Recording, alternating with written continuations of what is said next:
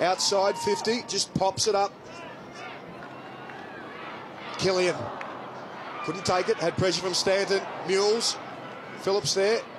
Kaslar, she's cool in defence. Terrific player, one of the best defenders in the competition. Smothered Abbey Holmes goes back. She's got Varnhagen. She needs to get around on the left. Goes to the top of the square. Oh my God, she's kicked. Deni Varnhagen kicks her first goal since the opening round.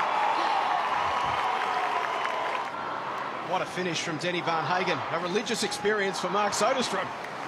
Just remarkable. I thought she's going to the top of the square and it just drifted magnificently through. So the Crows with a seven point lead.